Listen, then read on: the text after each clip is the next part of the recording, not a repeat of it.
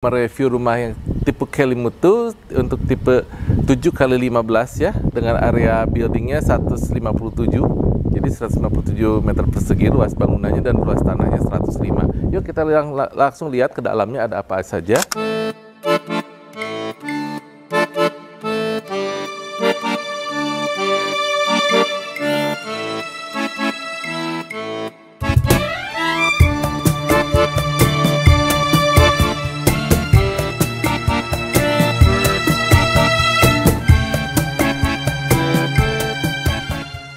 Carportnya sendiri ini cukup luas, ya.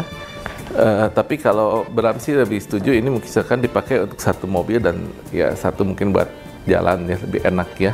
Ini nah tangga di sini setiap tipe Kelimutu di sini tipe uniknya adalah tangganya ada satu tangga di luar dan tangga di dalam ya. Tangga di luar ini selalu langsung menuju area living room di atas. Oke, okay, untuk kelengkapan keamanannya selalu dilengkapi dengan CCTV dan smart door lock.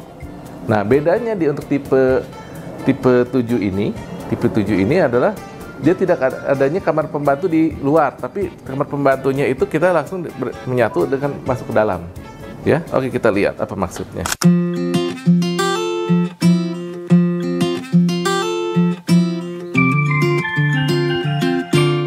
Yang menariknya begitu kita masuk ke ruang ini ya, kita bisa lihat di sini ini konsep rumah yang menarik. Menariknya itu sebetulnya kalau tangganya ini tidak kita buang gitu ya, ini bisa seperti konsep Soho.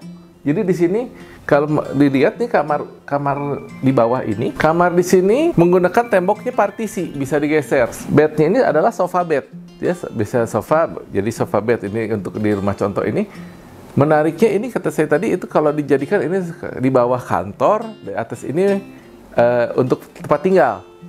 Gitu. Itu itu konsep yang sebetulnya menarik, tapi apakah boleh atau tidaknya untuk dijadikan suatu konsep Soho, tapi ini suatu ide mungkin yang menarik untuk ke Asia ya. Mungkin dibentuknya nanti area area yang di bawahnya memang seperti Soho gitu, di bawahnya kantor, di atasnya sendiri itu adalah buat tempat tinggal khusus untuk satu area jadi setengah semi komersil ya semi komersil area. Oke kita lanjut. Di sini kamar mandinya sendiri. Ada kita lihat kamar mandinya sudah kamar mandi basah ya. Di mana terdapat shower room. Ada shower room untuk uh, klosetnya sendiri menggunakan toto. Sinknya pun menggunakan toto juga. Ya kita langsung lihat. Nah untuk konsep di sini tangganya sendiri ini kita lihat kalau tangganya di sini diisi di ada lemari ya. Nah, lemari dekat tangga sini ini menarik juga. Sesuatu yang menarik. Jadi di tangga bisa diisi dekat untuk menutup tangga ini diisi lemari. Tapi kalau nantinya mungkin lemarinya pun di bawah tangga kita juga bisa juga.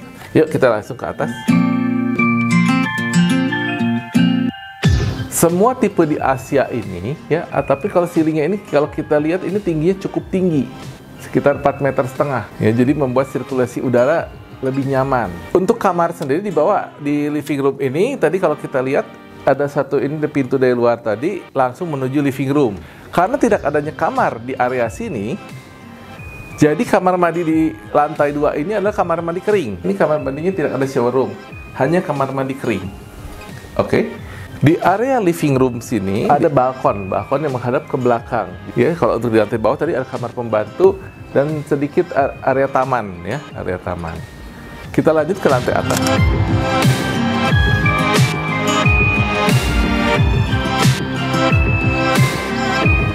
lantai tiga ini ya di atas ini lantai tiga ini ada dua kamar satu kamar utama satu kamar anak jadi ini konsepnya kamar anak dengan kamar mandi dalam ya kamar mandinya sudah bisa ada shower. Sebelah ka kamar anak adalah kamar utama. Kamar utamanya untuk tipe ini kalau kita lihat di sini langsung di sini adanya balkon. Ya, jadi kamar utama mempunyai balkon. Ukurannya pun nyaman di sini. Hanya kamar mandinya bedanya dengan yang uh, ukuran 9 adalah di sini kamar mandinya sendiri baru shower room. Belum ada bathtubnya. Ya, jadi ini kalau terlihat ini baru terlihat adanya shower room. Sedikit Bram simpulkan untuk tipe kelimutu ini jadi mempunyai dua tangga, selalu mempunyai dua tangga, tangga satu dari luar dan tangga satu di dalam. Semua mempunyai kelebihan dan kekurangan ya. Jadi tadi kalau kelebihan kekurangannya tadi kalau Bram sih lebih suka sebetulnya tangga satu yang di luar itu dimanfaat, tetap berfungsi. Tangga dalam ini kita rubah kalau ya, yang ini mempunyai jadi kita ganti lift ya ke atas itu lebih menarik sebetulnya. Oke. Terima kasih sudah mengikuti acara ini dan sekali lagi Bam terima kasih juga untuk sponsor untuk kepada Elok Busana selaku sponsor. Ini adalah salah satu contoh bajunya. Bajunya adalah baju Jawa yang kali ini Bram pakai. Ikuti terus video-video Bram dan jangan lupa untuk pemesanan rumahnya ini sendiri boleh kontak Bram langsung di nomor ini ya. Oke, sampai jumpa dengan Bram pada video berikutnya.